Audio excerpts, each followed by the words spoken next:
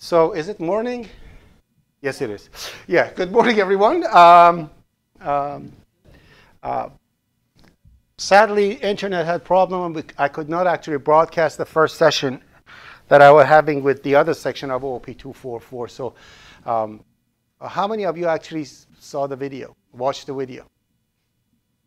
Don't be shy. You can do you do like that so I can see. Okay, so not much. So I have to quickly go through everything. So my name is Fardad, F-A-R-D-A-D. Last name, don't bother. Just know the spelling.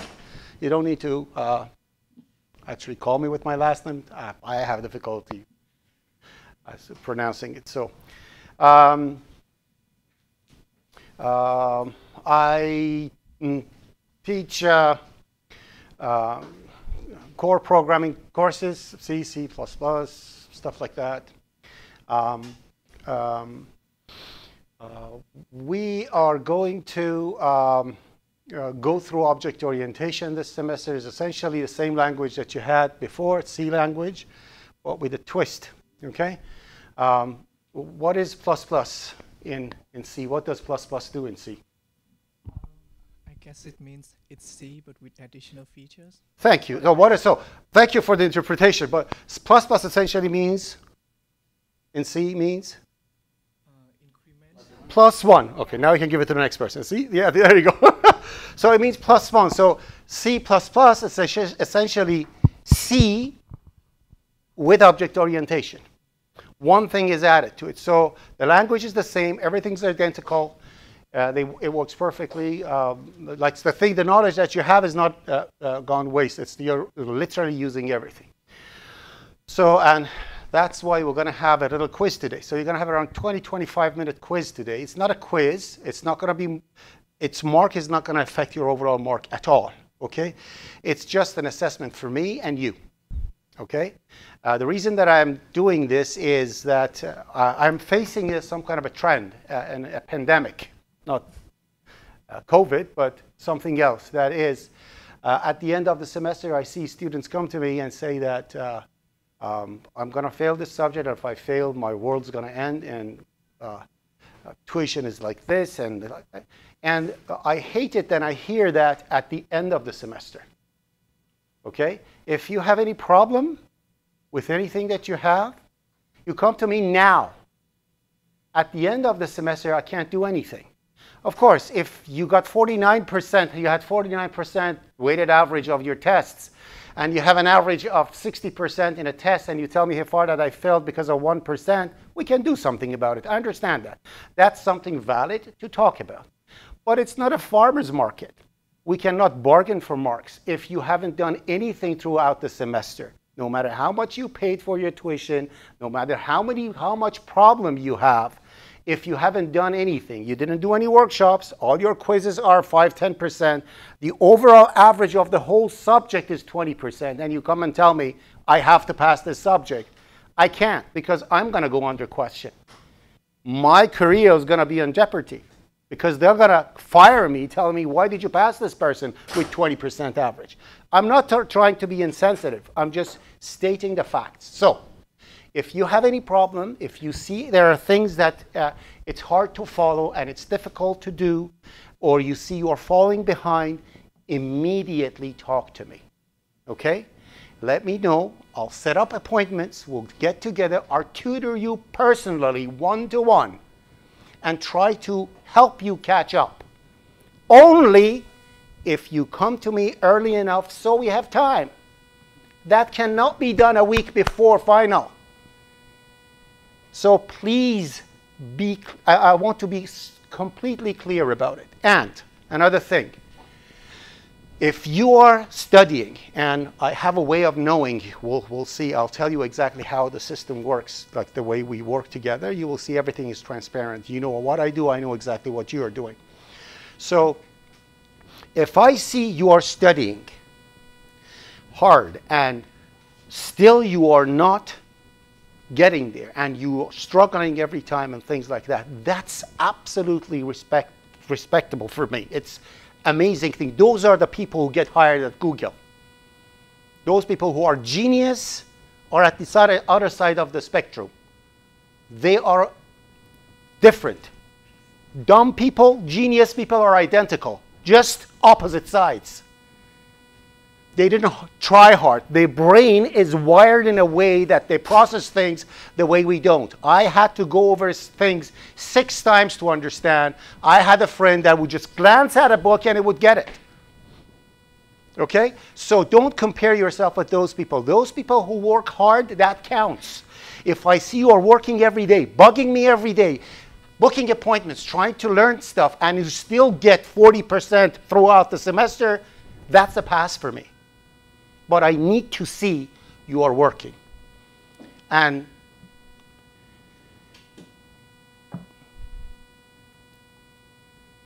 I cannot tell you how disappointed I'm going to be if I see anybody plagiarizes anything. And I am extremely against that. I actually open it up, which means in my class, you can plagiarize as long as you cite it. That's not plagiarism anymore. That's how everything works in science. You don't start everything from scratch. You have to submit your project in two days and you're stuck. This part of the code doesn't work. You ask Jane to give you the code. You get the code, you put it in your project, everything works, you cite. You tell me this part of the project was done by Jane and I borrowed the code. Perfect. You lose 3%, 5%. That piece of code that you borrowed, you lose the mark for that. You get 95% instead of 100. Everybody's happy. I'll thank Jane. I'll thank you. But if I get the code that Jane has in yours and neither of you told me, you both get zero. And I'm not joking about that. And I immediately report it. So you are in distress and you want you need help, you can borrow pieces of code. You will cite it and you're just fine. All right? As long as you cannot say, this is the entire project is written by Jack. And I bought it. That can't be done. You understand what I'm saying, right? What I'm saying, the parts that are troublesome. Anyways, together, if we work, I'm not saying hard, normally, like half an hour a day studying, an hour a day studying, that's not too much, is it? Okay? You do that, believe me, you're going to pass with an A.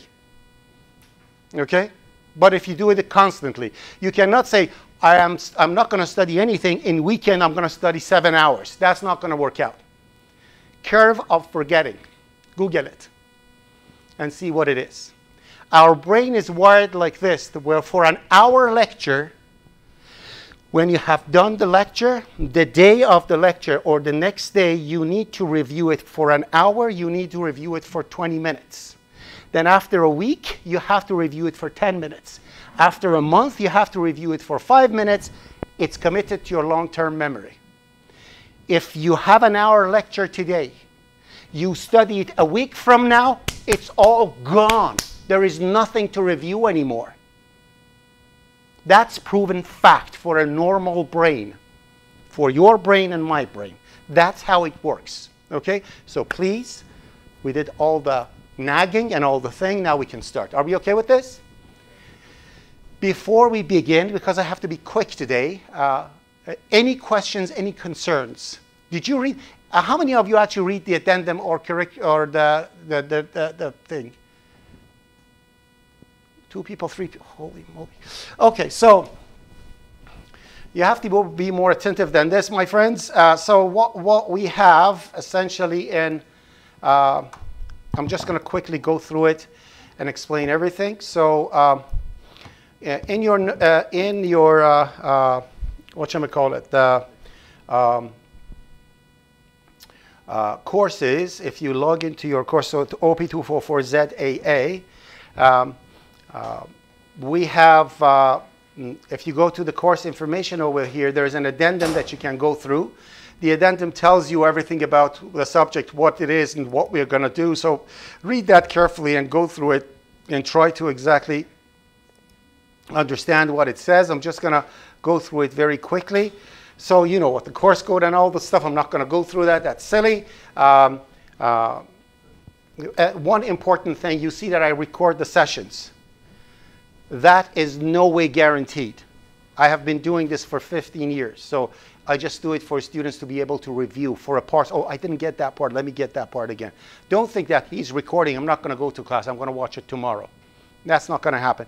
Very possible that I'm going to post the recording five days later. There is no guarantee. This is not something out of the course. It's nowhere in addenda it tells you that this, the sessions are recorded. This is an in-person class and you should attend the class.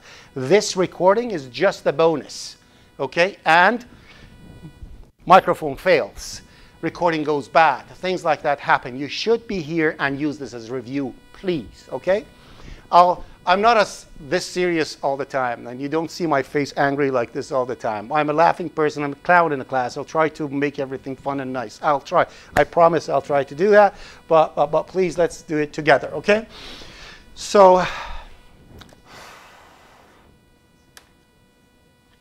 um, the phone number that you see over here actually rings Microsoft Teams. Okay, so it actually makes my computer ring. Okay.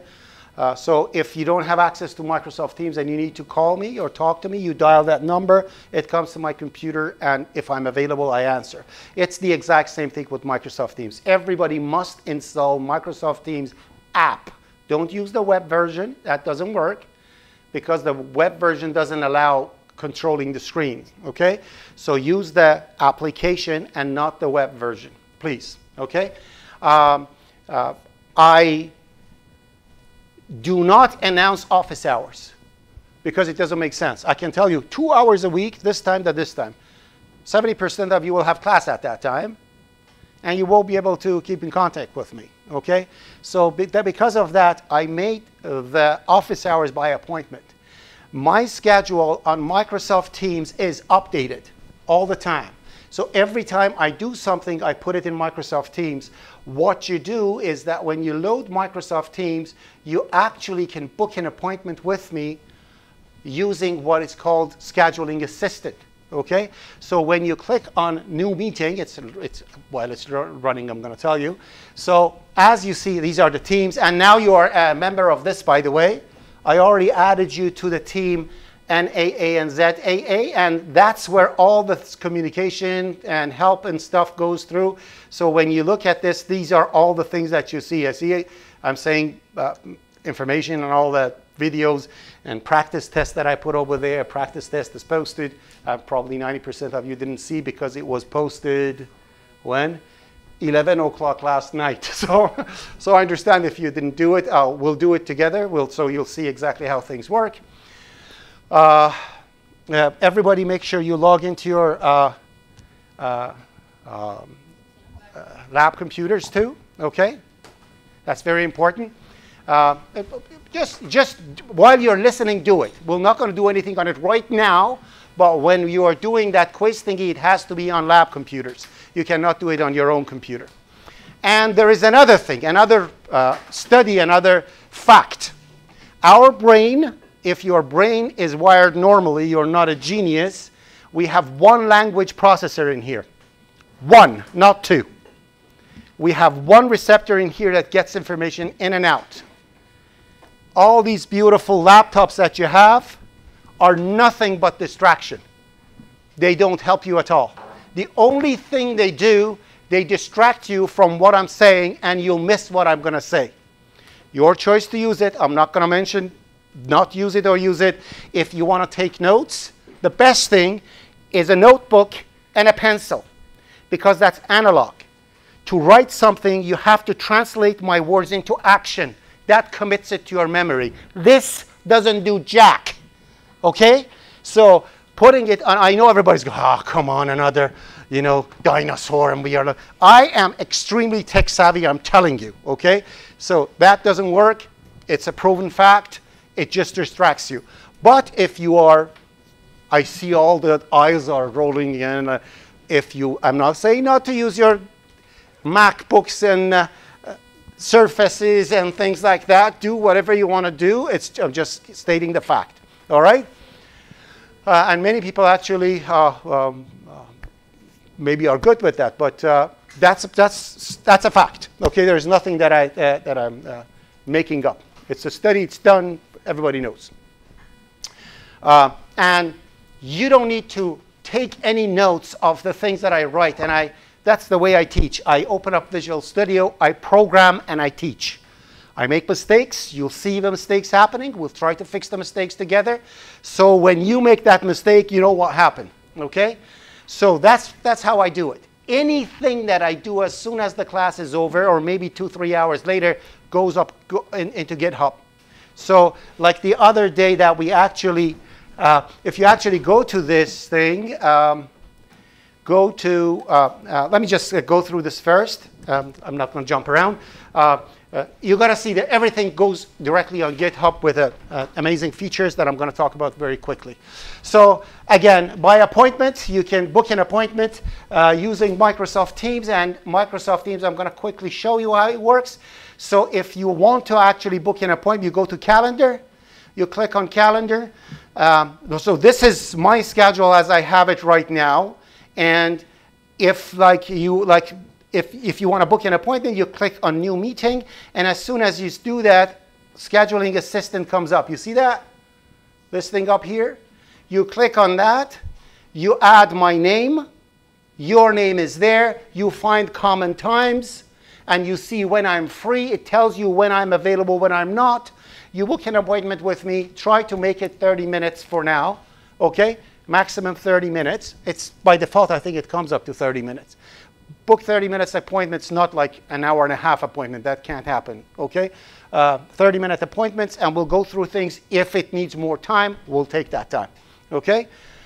Uh, like that, I'll see the appointment, and if you need to talk to me, don't book an appointment three minutes from now. I don't have time to see it. Usually try to take and get the appointment a day earlier, uh, a day and a half earlier, or maybe two days earlier, so I have time to see it. Um, Otherwise, if it's 11 o'clock at night and you book an appointment at 9 o'clock and I start working at 8.30, for example, it's very possible that I don't even see that appointment. Okay? Give me some time to see it. Um, I'm not one of those people who have his, his cell phone set up and everything, everything dings and dongs when something happens. I, if I do that, i am going to be living my life with dings and dongs, and I don't want to do that. Okay? So that's that. So booking appointments, we know. Um, um, any help, any, any, any help that you see that you have, you can simply post it here. Hey guys, and mention over here, I have a problem. This is, everybody sees this, right? You just post a question over here. Please don't post the whole solution of something, right? You know what I mean? Like if you have a problem, you have a piece of code that doesn't work, just put that piece of code and tell, tell everyone, this, this piece of code, this function is work, not working. Can anybody help me with this? Either me or any other student, you can contribute. That's amazing. Teach each other, okay? Help each other. And if you can do that, you're to learn. The best way to learn is to teach, okay? Uh, help, it, help each other. And if I grab the question, I'll grab the question, or you can book an appointment. So this is like a discussion forum. And also, I put announcements over here so you can see it. That's that. You see, I have a chat over here. So somebody said something. That's a beautiful thing. So I can actually click over there and actually talk only to people on Teams who have uh, urgent work with me. If you send me an email, I'm going to answer it when you graduate, probably. Okay? Emails are very slow. And if I show you my mailbox, you're to get scared. Like I have like 3,000 emails coming every day. Okay? Don't do that. Use emails for logs and stuff. I don't know. If you want to send me something that tell me, oh, see, I just put sent this thing to you for so you know at 12 o'clock I mentioned you this. Fine. But sending messages, private messages over here are the best.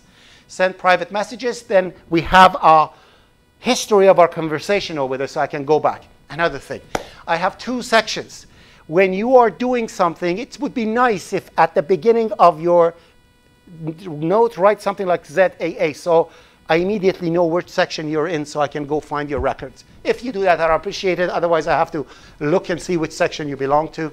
And that's kind of a pain, but it's okay. And respect the dot. Okay, you see that dot over there? If it's green or yellow, you can call me. Don't send me a message. Please don't send me a message. Can I call? No, you don't need to ask. If that's green or yellow, which means I'm either available or I'm away, but my computer is on. If you call me, it does a ding dang thingy, and if I get to it, fine. If I don't get to it, I see I have a missed call. Or if I'm busy, I simply pick up and say, hey, I'm busy right now, we can talk later. Okay, get ready for that. But if that is green or yellow, just call me. Don't ask me, may I call now? Yes, you can call. I'm telling you right now. Okay? But if it's red or uh, offline or something like that, then please don't call. You're going to wake up my 10 year old and I'll really get pissed. Okay, so that's that. Uh, respect the dot. Workshops, 20%. Final project, 20%. Quizzes, 15%. Test 1, 15%. Test 2, 30%. The weighted average of test 1 and test 2 and the project are the most important things to pass this subject, which means test 1 multiplied by 33.33333 plus test 2 multiplied by 66.66666. That tells you what is the weighted average of your two tests. If it's below 50, bye-bye.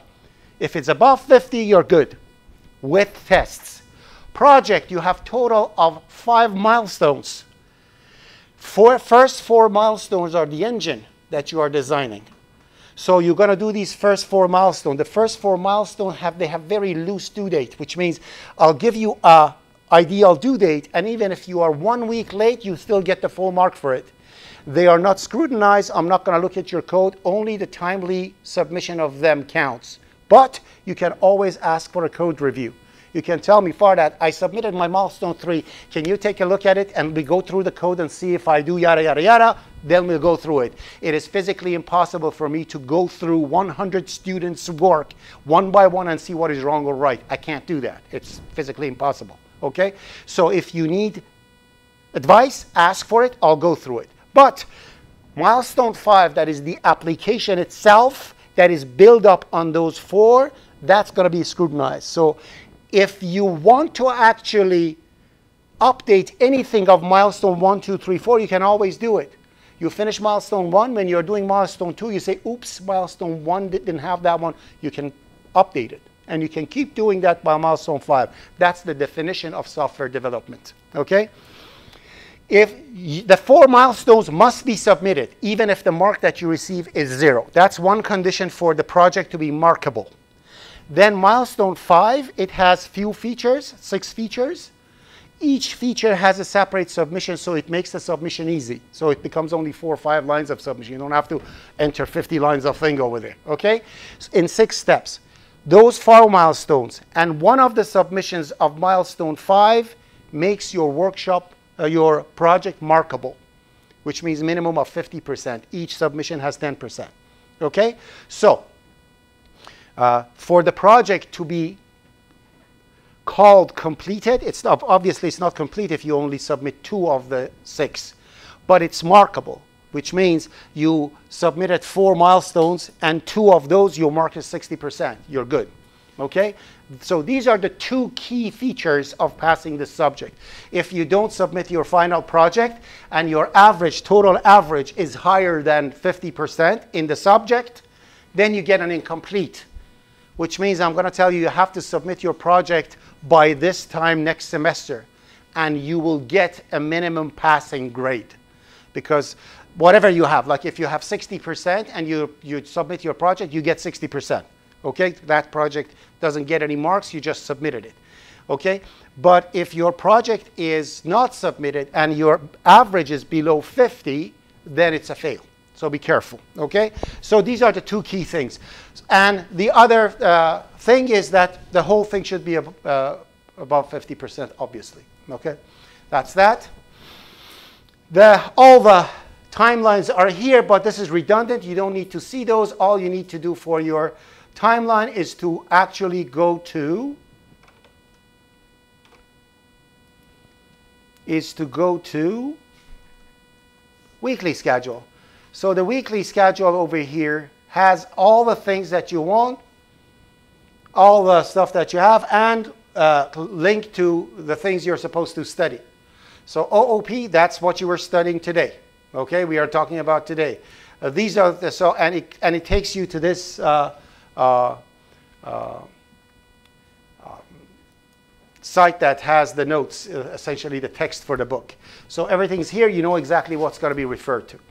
Uh, we have two sessions, lab and uh, two different things, lab and lecture. Uh, like today, if the lecture is not completed for any reason, I use the lab to do it. Lab, I don't know what was it in IPC 144. In OP 244, lab is not a place to start your lab. When your workshop comes up, you start it immediately until you come to lab, bringing your problems to lab. And, I'll, and we'll talk about it. Okay? So that's how it is. We don't start your workshop in the lab. Okay? So, workshops, two different ones. Before the midterm, you have two workshops per week. The first workshop, we call it lab, which is the one that I talked about. Okay? The second one is a homework. The one that is the lab, uh, you start at home and start working with it. It's, it's very heavily guided. So ideally, following the instructions, you'll be able to do it on your own. If there is any problem, we fix it in the lab, and it's usually due a day after the lab. So when you uh, you start three four days before, you do it, you come to lab, you uh, uh, check it out. And we, if, if anything's wrong with it, I'll help you. And then uh, you have another day to fix all the things you're supposed to fix, and you submit it, and that's the lab part. Okay. Um, that, that lab thingy, again, it's exactly like the milestones. I'm not going to scrutinize it. It's just time. If you give it to me on time, uh, you, it, on the day, you get full mark. If you give it to me the next day, you get only 40% of the mark. If you give it to me two days late, it gets zero. As easy as that, okay? Uh, the other one that is DIY, do it yourself, it's using the concepts of the lab but it's uh, in smaller scope and very open-ended. You can do it any way you want. Uh, and it's going to be due four days after the lab.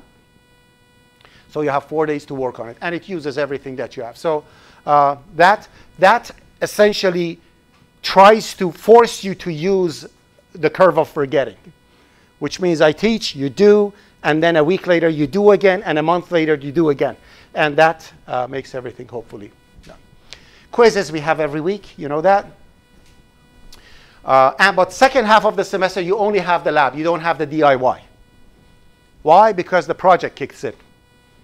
You have the project. You don't have time to do the workshop and a project. That's just too much, right? So you only do the lab, uh, the, the guided one, and project is something that you're going to live with, which means it starts approximately either study break or a week before study break, we publish it and, and you have, but the due dates of those are not matched with the week. One milestone may have two days, another milestone may have 14 days. It depends on how, uh, how much coding you need for each one of them. Okay, and that's how the uh, project is done.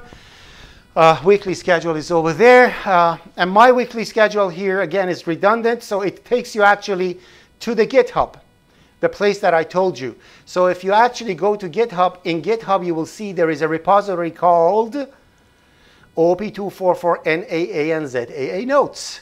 Everything and anything I do in class is here, including the recordings of the sessions. So if you go to, for example, ZAA session, here you're going to see your notes, and down here you see it says to be posted. It's going to be the recordings of the sessions coming up. I strongly suggest if you have time, speed up, like go to YouTube and speed up the thing to like 2x so it goes twice as fast and just listen to the recording of the other session too in case I mentioned something over there that I didn't mention. Why? Because uh, I use you when I actually want to teach, which means different classes based on that talking stick and the questions that goes back and forth may cover things that the other one didn't okay? It is a college. It's not high school or primary school that I teach you everything. I'll start up for you. You have to go and study it yourself from the notes. That's that one. What else we need to cover in here very quickly? So I'm going to talk about all these things and you'll see it. Uh, so that was the weekly schedule. Uh, da, da, da, and quizzes are all here, practice tests. Uh, uh, you don't need to do it because you're going to do the quiz. I'll explain to you how to do it. But um, if you want to do the practice, uh, practice test, I'll, I'll, take you through it. So everybody's logged into uh, these things, right? You're not? Bad boy, you are. Log in. Log, everybody log in. And, uh, I'm not going to do it now, but please, yes, thank you. But uh, please log into your, and let, let them be logged in while you're listening to me, okay? So, so when I tell you start, you can start. Yes, sir.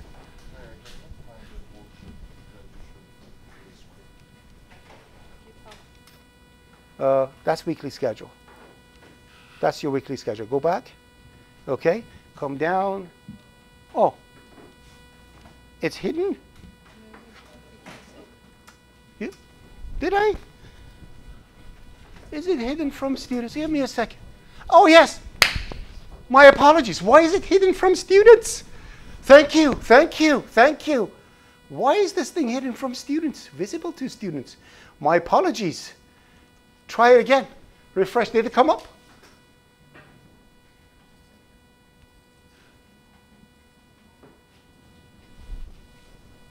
So it, now it should be visible to students. Sorry, it was hidden for some reason. It, is it up now?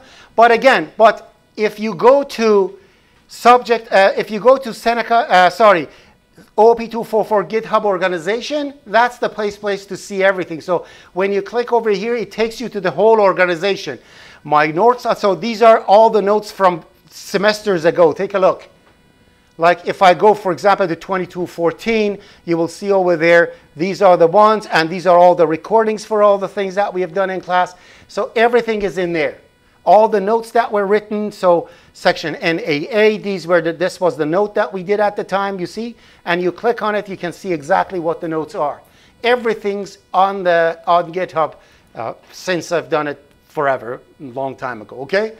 So that's how it's gonna be. Uh, uh, so again, uh, go through this, okay? Please go through every single thing, click on it and see what it says. It's important for you to know. I don't want to go through it for, for you now. Do it at home uh, and uh, make sure you see everything and you read everything uh, carefully. Subject addendum supersedes everything. What does it mean? It means if you go to the course outline and the course outline says the uh, uh, uh, final test is 50%, this overrides it. Remember, an addendum by definition means something that is added to what you had before. So that supersedes everything. So make sure you actually uh, look at that.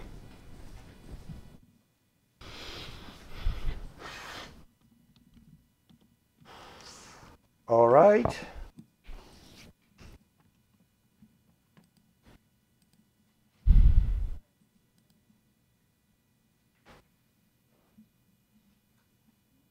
These things you don't see, midterm, final stuff you don't see, quizzes. The only thing that you will see today will be quiz zero that I'm going to open. Yes. Yes, my dear. Let me come to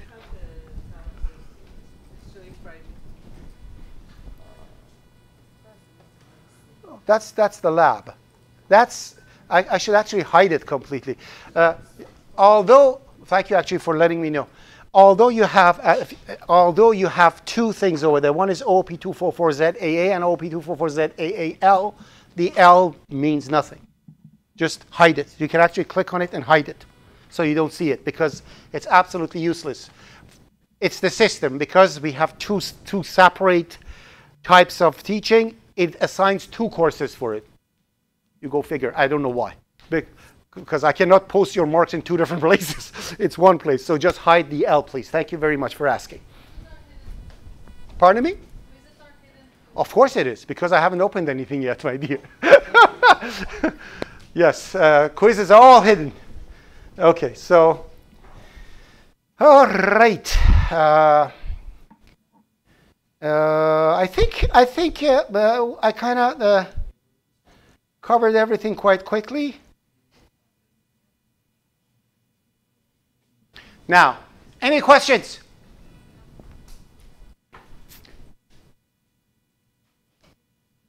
Suggestions?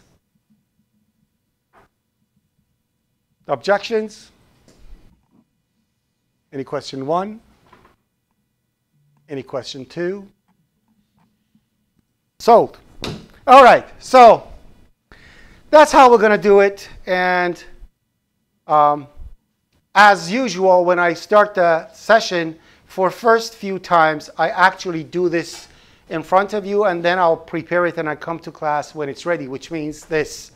I start with Visual Studio, as you see.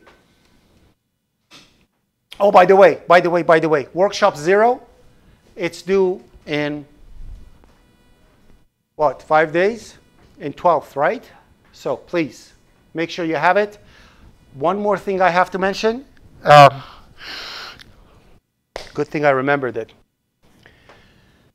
Computer science is an exact science. It's not like psychology that you can fiddle around with and have your own opinion about it, how to present it. Okay? You don't have a choice. You cannot say, I'm not going to write a for loop. I'm going to write a for loop. You can't do that. Okay? I'm not going to end this statement with a semicolon. I like to put a dot. You can't do that. It's an exact science, which means if I told you two spaces, new line, and a dash, it must be two spaces, new line, and a dash, and nothing else. Do we understand this? Okay. So when you submit your workshop, when I tell you git ignore must have these things, when I tell you the README file must have these information, it must have those information exactly how I asked you to do so. And that stands for the rest of the semester. It's not a taste matter. It's not, it's not a democracy. It's not. Computer science is not. You're going to have a system analyst. It's going to give you a process to do, says this is the function, this is the thing you are supposed to design that have these specifications. If you don't follow the exact rule, your program is not going to plug in into entire system. It's worth nothing.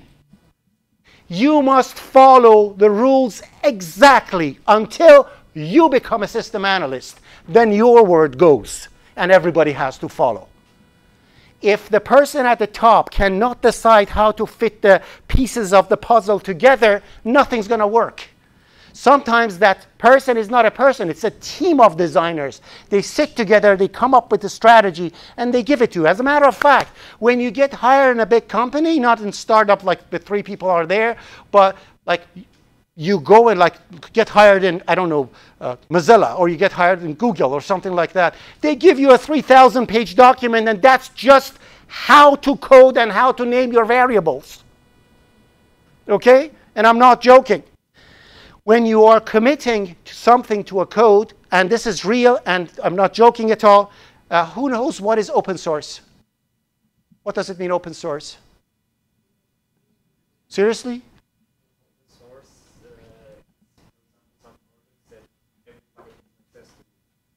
and that can contribute. Thank you very much. Your name? Ali. Ali, my hero today. Okay, so open source is essentially any project that its source code is open and everybody can contribute to it. Anybody knows one of them?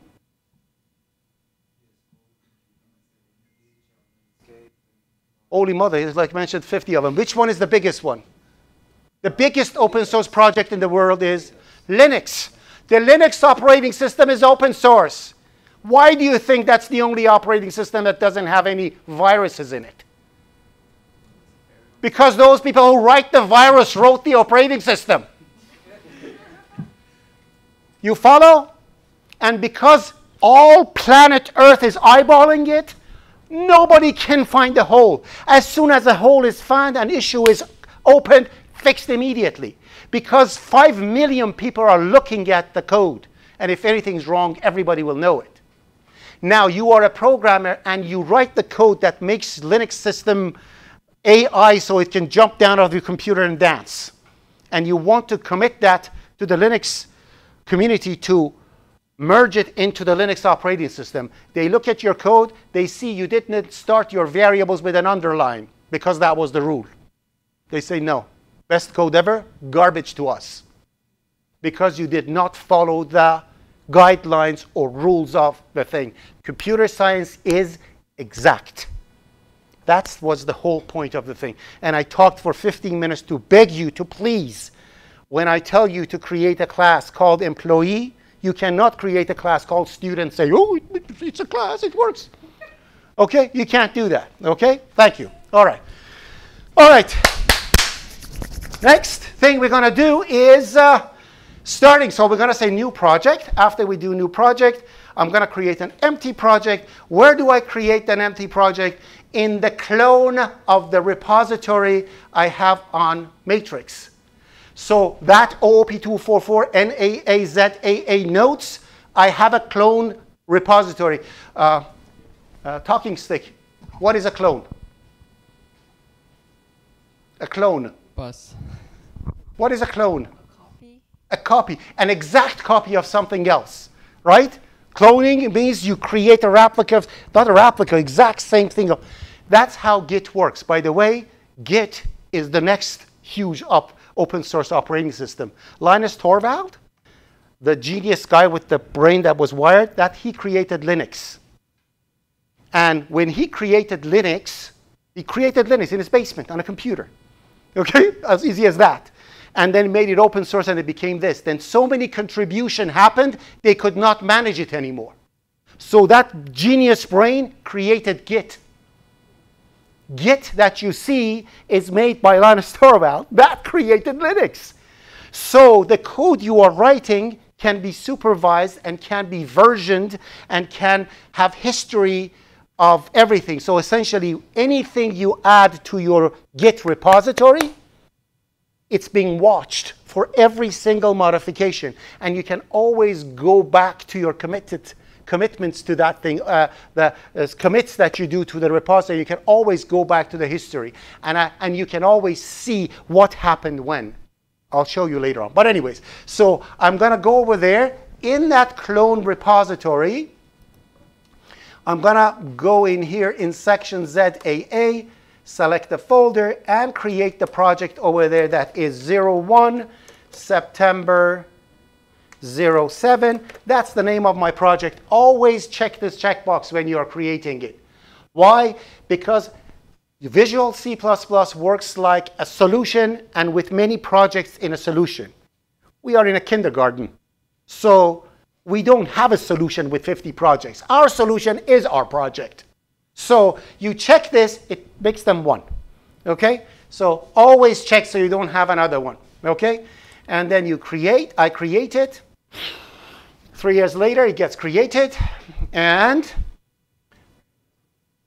in here, I'm going to go add new item. Please, please, please go back and watch the video that I posted for OOP 244 NAA. The everything that we need to talk about this semester about. I know it's boring because internet went bad and I had to, uh, I know, keep going and uh, put it on high speed and as soon as you see we are talking about object orientation, slow it down and listen to it. I am explaining exactly what we are going to learn this semester, okay? So it's there. The promise we make, I made, and the promise you're going to make and how we're going to go through everything, it's in there. Please go. I know it's boring. It's an hour and a half of boresome, but please, I beg you, go through that boring thing and listen to it. Just this once, okay? Anyways, so now I'm going to create a, a C++ file over here. I'm going to call it prg.cpp. And in here, I'm going to say include iostream, no header file, no .h's in C++ anymore. Uh, because it's object-oriented and we don't have any .h's for whatever reason, forget about it. Just, just know that there is no .h's. If you want to use any header files from C language, like if I want to in include, for example, standard library. Standard library is from C language. You have to say include cstdlib instead of stdlib.h. Instead of this, you go C. You started with C. It means this header file is coming from C language. Okay?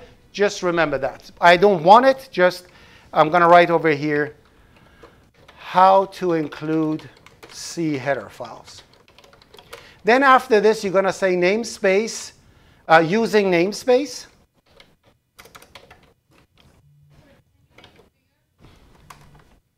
Sure. And um, for those people who have, uh, with all respect, for those people who cannot see from far, come closer because I need, it's, I'm not, You're perfectly good that told me to make it bigger.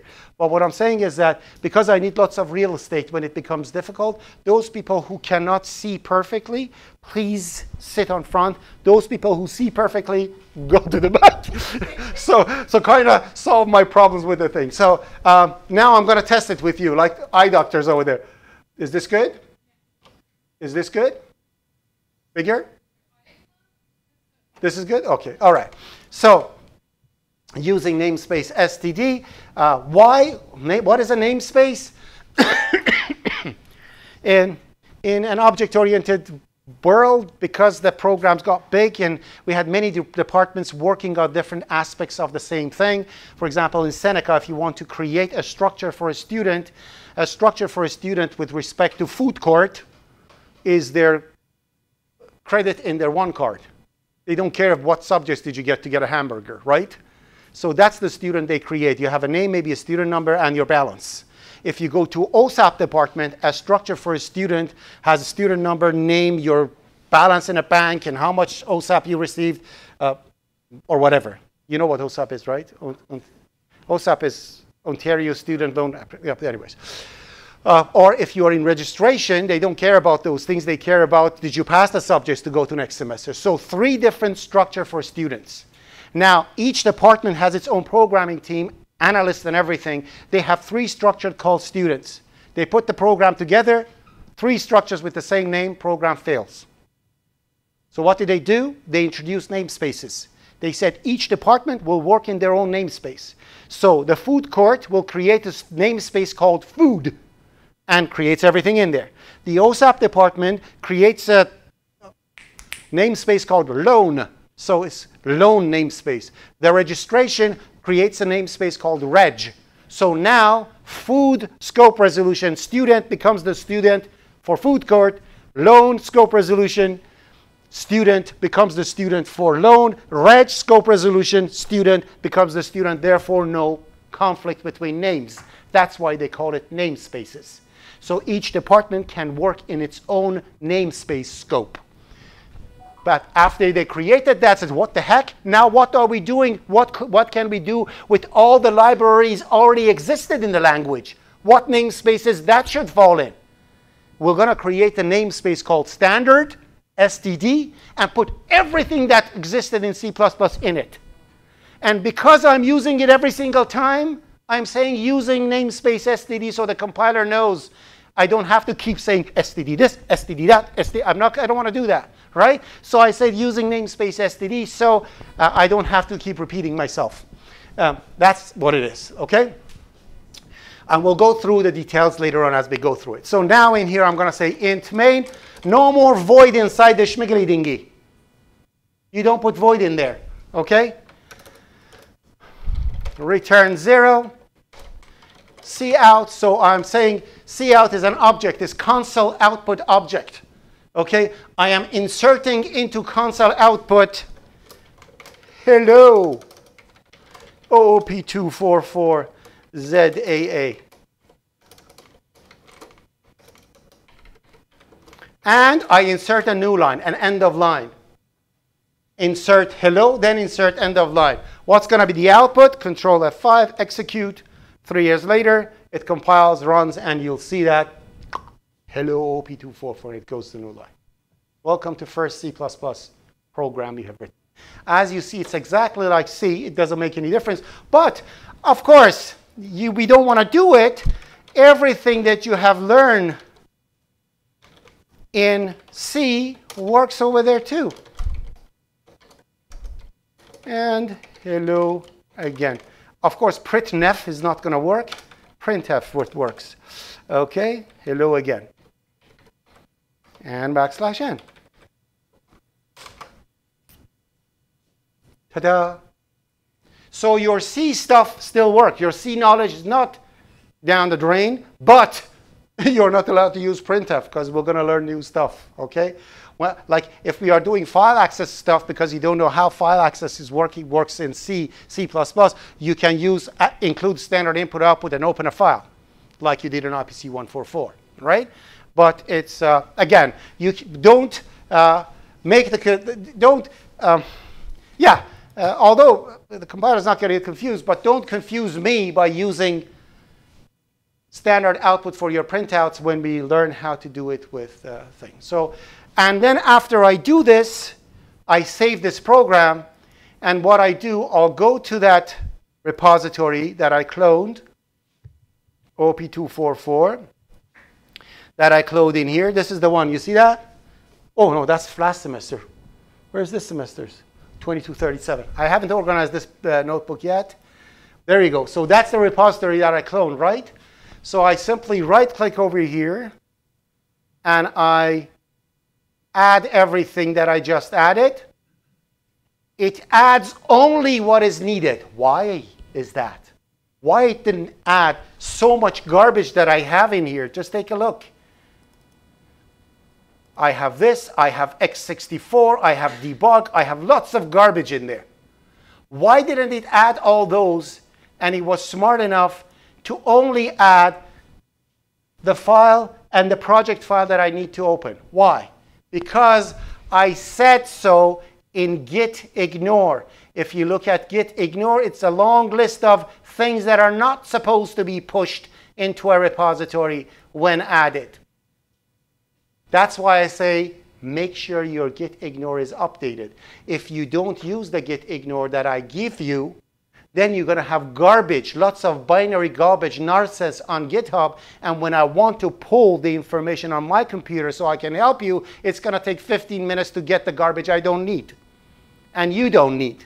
So make sure your git ignore is always updated. it is a beautiful thing. You can do the exact same thing on Matrix and clone your repository on Matrix so you don't use FTP anymore. You do your work, you push to Git, you go on Matrix, you pull. Poof. It brings only what's necessary. You don't, you don't have to select, it has to be binary, no, this has to be text. I have to, you don't do that. You just push and pull. And everything's done perfectly. Anyways, I was adding, so I'm going to add and I'm going to click OK. So it adds, as soon as it adds, it says, you want to commit? Commit means give me a turning point on this computer where I can come back to. Okay? So I'm going to commit, and I'm going to name that commit uh, first C++ program.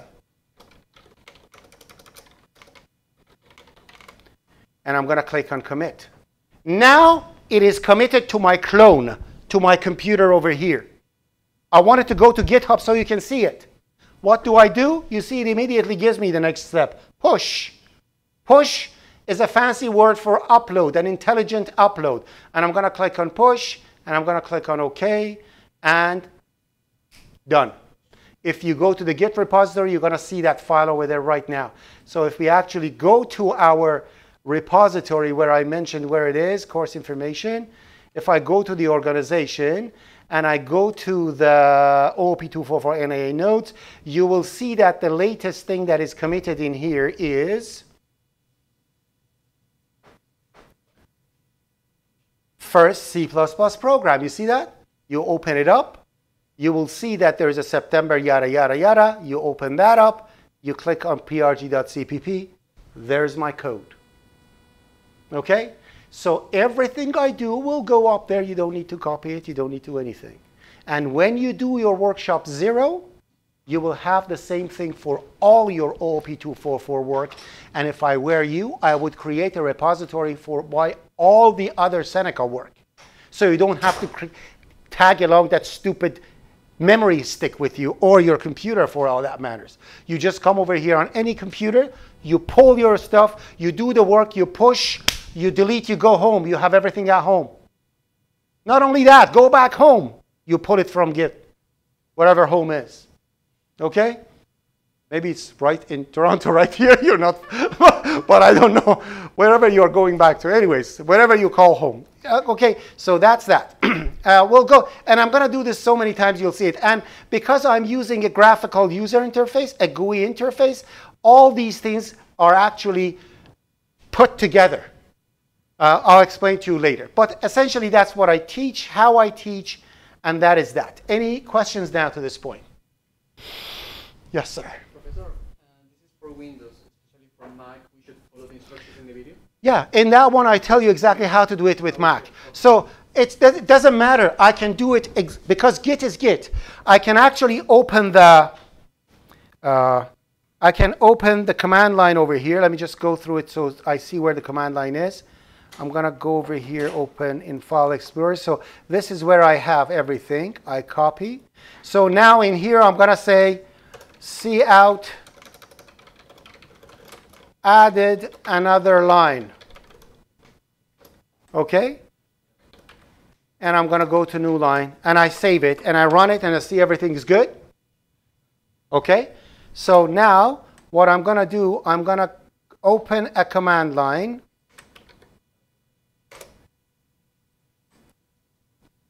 And uh, go to drive D and go CD. That's where the thing is. So this is, this is, well, uh, this is where I have everything, right? So in here I can say git uh, add star, add everything. So essentially I did the add. Then I'm going to say, oh, sorry. Then I'm going to say git, sorry, it's my prompt is so long over there. Git commit dash m uh, added a line, right? Then I'm going to say git push. And are you sure you want to continue? Yes, because it's the first time I used it, it actually uh, registered the key, the key and everything. So it actually went over there. Now, if I go back, that, that was Mac. That was not Mac. That was any computer. okay? That graphical user interface essentially issues these things behind the scene. There is no magic happening over there. So now if I go back to the organization one more time and I refresh it, you will see that you will see that in ZAA, uh, what happened? Did I? Oh, I don't have a, I have it, I didn't set the key the way I mentioned. So, so yeah, remember I told you I, I, didn't do that over here. I only did it for, yeah. So the S, if, if I installed the SSH key, I would have done this like this and I did, because that's why it didn't go through. So I, uh, and um, all I need to do is actually push over here because it's already added. So uh, the pushing that needs to go to the other one, I can do it from here. So I can actually say TortoiseGit push. And this one had a key, and now it's up there. So everything worked other than push because I didn't create the key. Uh, but everything is in there. You, in Workshop Zero, everything is in there. If you are having a Linux flavor, and if you are using Ubuntu, if you're using Fedora, if you're using anything Linux, command line works, you can do it that way. There is no problem. All right. Permission denied, could not read from remote repository. Uh, I, I know what happened. I deleted my keys for demonstration, and the key that I have over here doesn't match the key over there. So so it doesn't, but it doesn't matter. Not important. All right, so are we good? Oh, and by the way, um, now if you go over here, this is another thing that I have to show you. So if I do this, you will see over here it says added a line. If you click, you see over here it says added a line. If I click over here, it shows me the program. But if I go back over here and click on added a line, it shows the difference between the two. This is what it was. This is it. This is what is new. You will see a line is added. That's how I help you with your work. So when you have problem with your workshop, you create a commit, you push it to the repo, you book an appointment with me, give me the path to your repository. I see the path, I pull it, I contact you. We call, I open up your work, I fix your code, I push it, you pull it, you do a diff, you see exactly what is changed. Then you reflect on it.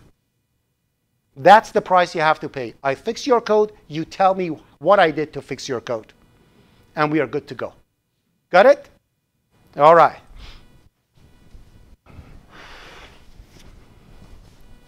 The class ends at? So let's see how we are actually doing the, uh, the quiz. So I'm going to do it on a practice test just to show you how it works, and then we're going to go Uh, you can actually start with me. Go on your computers, on your Seneca computers. Find my apps over there. Okay? That's the very first thing you do anytime and every time you are doing the thing. First of all, this is what I'm going to, because if you don't do it gen, uh, honestly today, you're shooting yourself in the foot. Okay? So don't try to. So the, uh, the, the next, the, the other days that I'm going to come and we're going to do this, I put baskets at the table and all cell phones goes to it. So all the cell phones are going to go to the baskets. Then I count the cell phone with the number of people in the row. So I know I have all the cell phones. And don't tell me I don't have a cell phone. Yeah. So I trusted students a little too much, and that uh, I, I paid for it dearly. So now I do this. So so the very first thing you do, you open my apps. So do it with me, and please. Everybody has a, a computer set, okay? You didn't log in, did you? did you log in? You're logged in. Oh, oh, yeah, yeah, yeah, yeah, bad girl you are. Okay, please, please go to my apps and go to when you go to my apps. Let me let me go to it.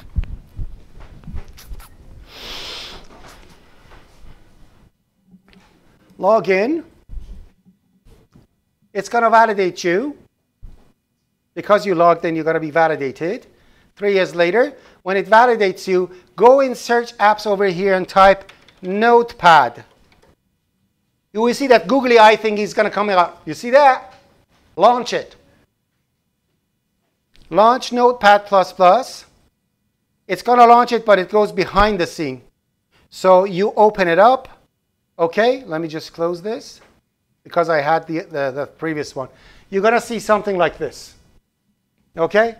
So Note, Notepad++ opens with a new thingy. Okay? How are you doing, dear? Oh, yeah. Click, click over here. Ah, here, okay? And open link. All right. No problem. Now type over here Notepad. It didn't click. One more time. Oh, you went out. click on it. That, that notepad. There you go. Googly eye. Launch. Okay? Do we have a anyone who doesn't have Notepad++ Plus open? This is critical because that's what you're going to write your program. Make it smaller. You don't need it that big. it's like everywhere. Okay, that should be at right side of your screen, exactly like mine. Remember exact science? Okay, at right side. Is that Notepad? Big enough for you, my friend? Make it small. Bring it right. Okay. Sorry. I scream a little too much. All right. So after you do this, you are ready to go to your test, okay? So now go to your school website. Where is my school website? So I'm going to go to my school website and go to OOP244. This is what you do when you're doing your tests of any type. OOP244ZAA and open up practice test. Okay? And you can bring this one at left and set it nicely so it goes right with the other one. Now at right side you have your uh, Notepad++ and at left side you have this one. Rename this thing to whatever.cpp. That new that you see, go file save as and anywhere it doesn't matter. Call it, I don't know, whatever.cpp. Yeah, as long as it has an extension CPP. That gives you syntax highlighting and limited IntelliSense, so you don't do spelling mistakes and stuff. So when you actually do something, it helps you writing the code. Okay? What are you doing here? I can do it here as well. Do it on once for now. Why? You don't need, you don't need, you know, we don't. okay, I just mentioned you have one processor and there's two over there. Anyways, so so uh, um, anybody over here who did not open the test, practice test, and didn't rename? Okay. Yes. Yeah, yeah, that's okay. Don't, don't worry, don't worry. So, so you're good, you're good. You have that, it's CPP. So, so you have the file's name CPP, you have the practice test open, right? All right. All right. So what you do, And uh, one thing that I forgot to do is that I actually actually have to log in as a student, otherwise I don't see it properly. So let me make this right. So, uh, so I'm going to say student preview. So, I, so we, we all see it, uh, I see it exactly as you do. There we go. Okay, so that's better. so now I'm going to go on uh, practice test. Okay, so now start the attempt. Okay, I say, first watch this video. Don't. I am the video. You don't need to watch it. Okay, you can watch it at home if you want to. It's exactly telling you what I'm telling you now. Okay, so the question over here for this test is, uh, I'm, not, I'm gonna reduce the, the font size. You have it in front of you. I don't, you don't need to see it. It says, using the method explained above, submit the properly indented and syntax highlighted version of the following function. I gave you a function and I told you just copy it, format it, and give it back to me. So copy it, paste it in the Notepad++, you will see extra steps coming in, extra lines. I see that, I don't mark it. No extra lines, okay? And you will not have extra lines because you actually do your programming here. You never copy anything from anywhere. And if you copy, I will know if you have extra spaces. Okay? So, so remove all the spaces.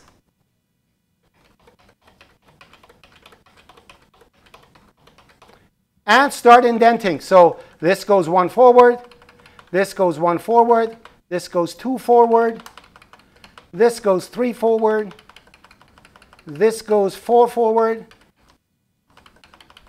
four,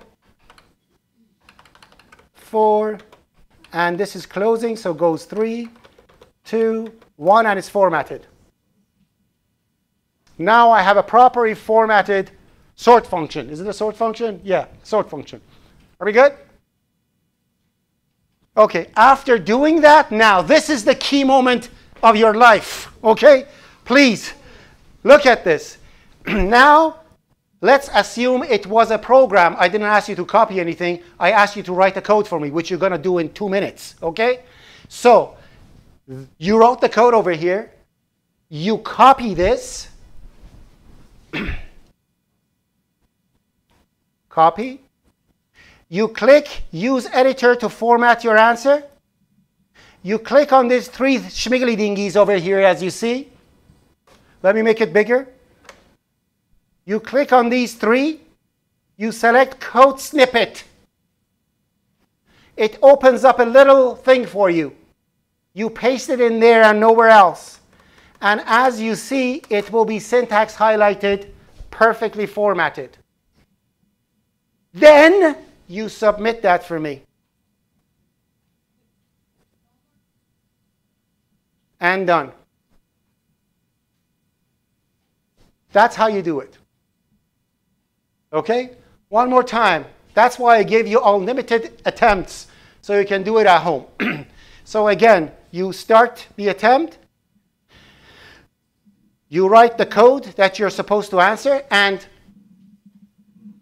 as soon as you complete, you always do copy, you paste. You copy, you paste. You copy. So if I want to do it, so if I write only this part, I do it like this.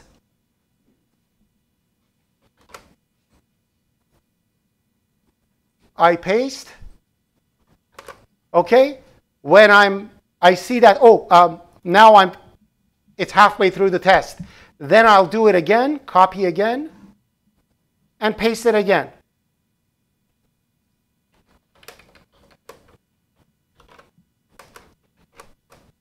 Control A and Control V. So you keep doing that over and over. Why? Because I don't accept that you tell me, oh my God, I wrote the whole answer and the test time was over and I didn't submit anything. Actually, a minute or two before it's time, I say, copy everything now or you're going to lose it. So you have to copy. Okay? If you write something like this, every single dot and space and curly bracket will get you partial marks. Okay? If you submit the best code in the world, that solves world hunger like this, you get zero. All I'm asking you to give me something so I can mark it. Yes, sir.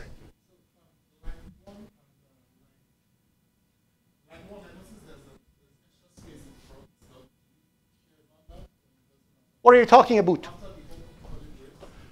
Here? Okay. I'm gonna, I'm gonna fall on your. My friend, I just want to be sure, so I don't lose any mark. I want some organized code. I don't want. I'm not a narcissistic psychopath. Okay. no, whatever you see in here is perfect. This is perfect.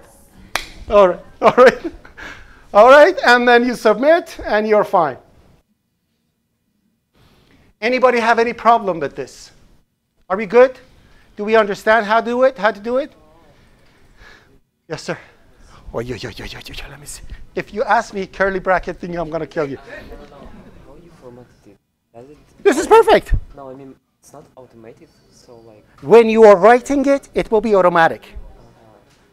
The reason that it wasn't okay. the question was, I had to format it. Isn't it automatic? Because it takes time for me to format. When you're actually writing the code, it will actually format it for you. When you hit it, it automatically indents it. When you close it, it automatically goes back. It's like Visual Studio. But when you code it yourself, when you copy it, no, it won't do it. Got it? All right. Question, I understand the Yes. What's the reason? What's the reason behind it? okay. What's the reason behind it?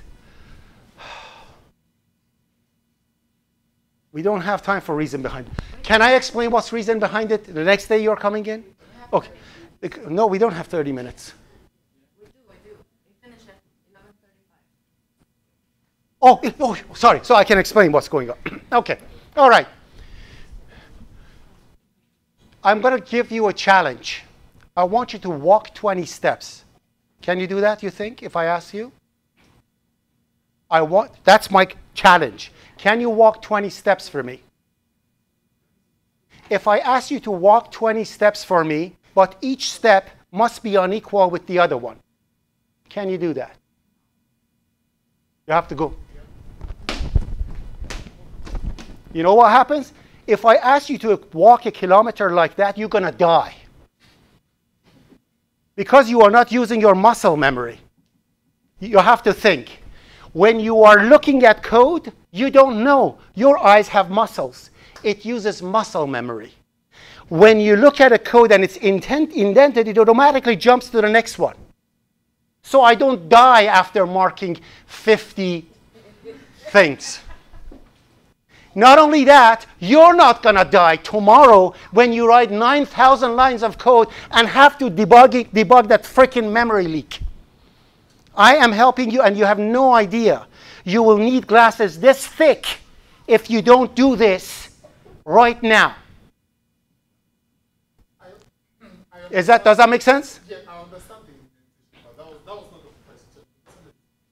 If you have um, s- spaces between each, maybe instead of writing each line, for example, you want to write uh, two functions. Oh, yeah. If you. oh, my God. Reasonable spaces, I understand. You have one function, you want to separate it from other function, you put three spaces. That I understand. I thank you for that. But if you write 10 lines of code and each line has three spaces with the next one, that means you copied it from her. Oh, Does that make sense? Thank you. What I mean is that make your code make sense. That's all I'm asking. You will see. I'm not going to be that painful. You're going to believe me. When you see my marking, you'll be happy. Okay? all right. So I'm going to make the quiz available so you can start now. Leave your notepads on. Delete that thing so you have a clean thing to start with. Okay? You have 25 minutes for that. It's Yeah, that's exactly what we need. In 20 minutes, I'm going to tell you, hey, people, uh, uh, okay, where is it? Quizzes. So in quizzes, quiz zero is now visible to students, and you can start now. Answer it to the best of your ability, and you're just losing time. I'm sure I can do it on my computer. It's fine. Okay. Today it's fine. Yeah. You're not allowed to do it from your computer because you have all the files in the world on your computer. Yeah. I want a blank thing. Yeah, I yeah, want you to have sure, no sure. access to anything. Okay, next time. Next time, yes. You are not allowed to do it from your own computer. As a matter of fact, I'm going to ask you to turn off your computers when the time comes. Okay? So, start doing the quiz, please. Thank you. I'll pause.